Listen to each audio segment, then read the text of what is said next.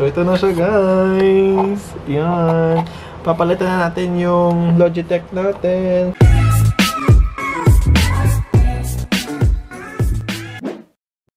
Hello my amigos, this is my welcome back to another video and today's video mag-unboxing ulit tayo with another product from Razer and the retailer nila is yung Data Blitz. Ayan, may paano pa si Mayor. Oh. Data Blitz, baka naman sponsor. Baka naman.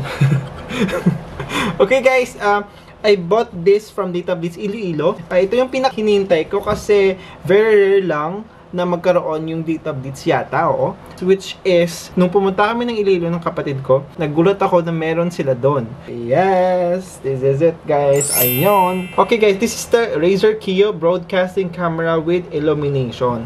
I think the illumination na sinasabi niya yung ring light na to. So, let's get started with our unboxing. Yeah, I'm so very excited.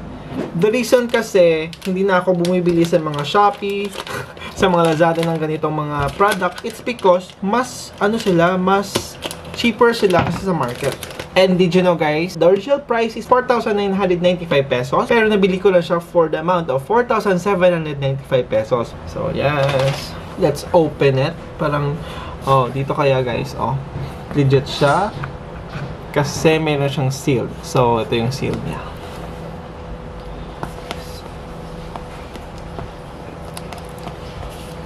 May seal nga, pero natadala naman yung seal, guys. ano ba yan, be? Parang hindi nawawala. Oh. Ano? Guntingan na lang natin, guys. this is it, guys. The Spotlight Your Stream. Multi-step ring light and with 720p with 60 FPS. So, yung laman ng box is... Wait. Yung laman ng box is... Siyempre, Galing ng Razer letter. Alam ko na to, Vince. Marami na ako nito. Oh. First is, we have the letter. The instructions. I know kasama dito yung sticker. Yan nga, may sticker.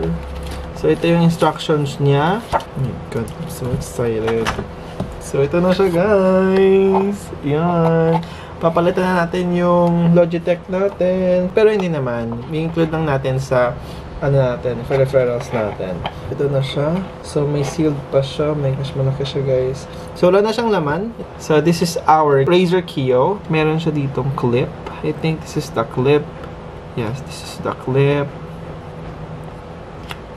And, pwede din ganito, guys. Ah, ito pala dapat.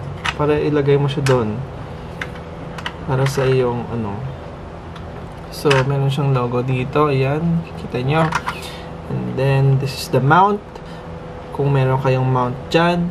At this is the QR code. This is the code. I mean, dito, ito yung ano niya. Parang QR. Yung code niya na digit siya. So, this is the product. Ayan. So, maganda dito kasi ano siya, leather ba or something cotton? Cotton ba to? Hindi siya plastic guys, kundi na-sealed siya sa isang material na cotton or clothing, I think. So, ayan, meron tayong sealed dito. So, ayun guys, this is our Razer Kiyo with our very first ever streaming camera. And uh, ito try natin. I'm going to show you how to set up. We're going to install our new streaming camera. Ito yung dati natin. Which is ang Logitech 922 Pro. So, let's go. Let's go, let's go i-install na natin siya. We will going to include this sa streaming ano natin. So, ilalagay na natin siya. Ayan. Actually, parang wala na akong slot dito. Wala nang slot for streaming camera. So, let's get this one.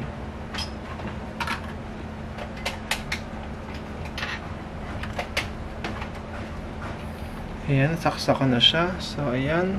Lalagay na natin siya as our streaming camera.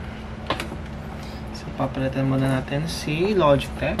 Lalagay muna natin dito. So, you will going to set like this one. Ayan. So, ayan na guys. Ayan na siya. We have our own streaming camera.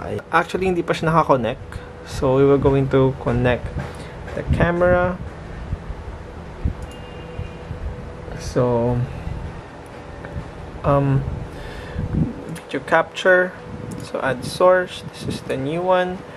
This will be our Razer Razer Kio.